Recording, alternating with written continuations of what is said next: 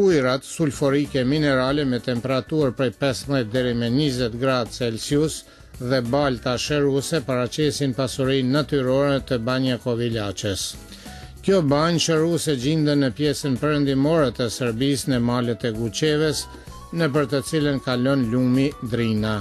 Qysh në shekullin e mesëm njerëzet nga kjo pjesë kanë njohur vetitë shëruese të ujërave kurse udhëtarët nga shekulli i shtatëmbëdhjetë përmendin që turqit e pasur nga Maçva dhe Podrinja kanë ardhur në Kovilaç për shërim dhe pushim.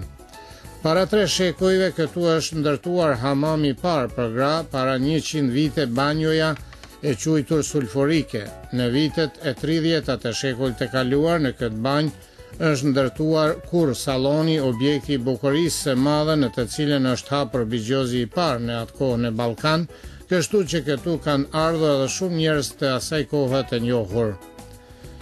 Kështu, Kovilaça, nga këneta e ndytë, e quajtur për shkak të burimeve të sulfurit, është bërë banja mbretërore. Në atë kohë, është rregulluar edhe parku i banjës në 40 hektarë, në mesin e së cilës Është fontana e begatshme.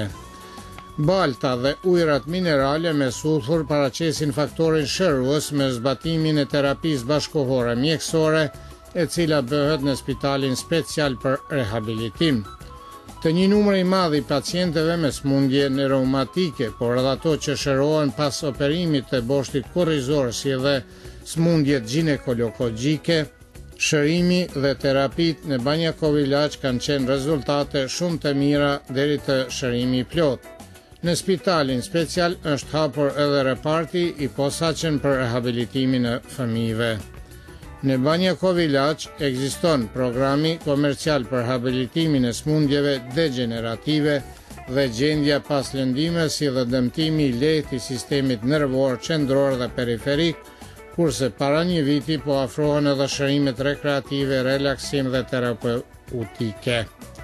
Qendra Wellness përfshin 1 metër katror, 1000 metra katror dhe ajo në vend ku mbreti serb Petri i Parë Karagjorgjeviç ka ndërtuar banjon dhe ka bërë vendin për pushime.